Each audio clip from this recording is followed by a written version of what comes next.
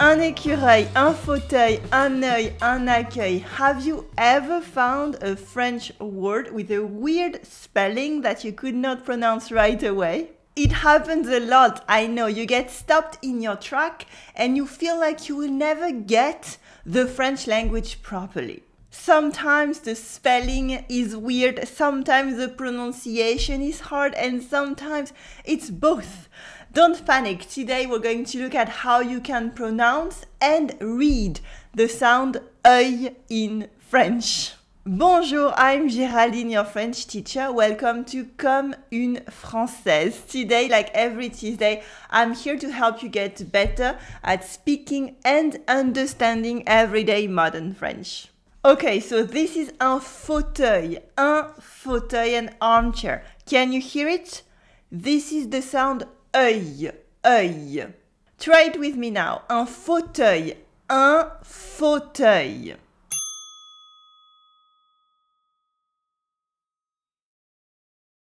How did it go?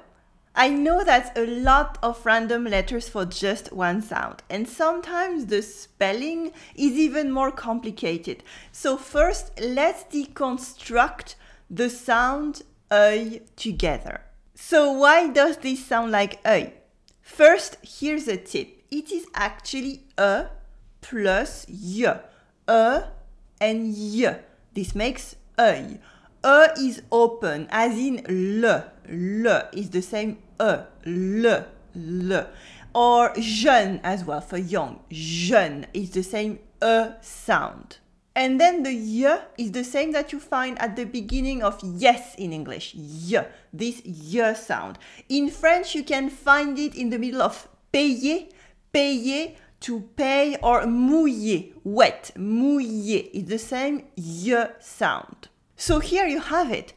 Un fauteuil. Un fauteuil. Un fauteuil, an armchair. Try it with me un fauteuil, un fauteuil. Of course, the French language doesn't have only one way to spell a sound. For instance, it is the same sound in the feminine. Une feuille, une feuille for a leaf or a sheet of paper.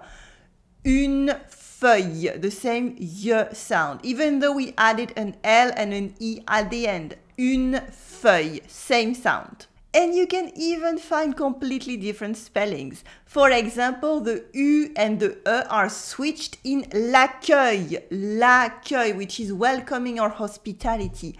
L'accueil. They're switched in order to keep the K sound in l'accueil with the C. L'accueil. And finally, you might even already know a word which is just this sound. It is l'œil l'œil, the eye, of course. And here it is even spelt with le dans l'eau. The E inside the O. Le dans l'eau for l'œil, l'œil. By the way, do you know what it makes in the plural? Yes, it is des yeux, des yeux, des yeux. It is a completely different word, but you still have the y sound at the beginning. Des yeux.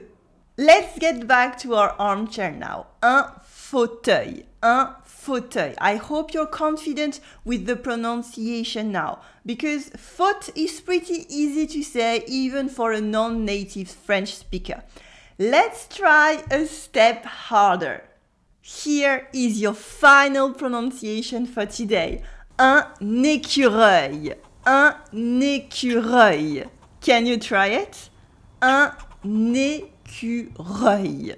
Yes, it's difficult because it is a mix of the French E, the French U, the French R, and the French œil. That's a lot. Try it with me. Un écureuil. Un écureuil. Don't worry if you can't pronounce it perfectly. My mom is Mexican. She's been in France for over 40 years and she still struggles with it. If you want to work on your pronunciation this year, just click here on the playlist that I made for you.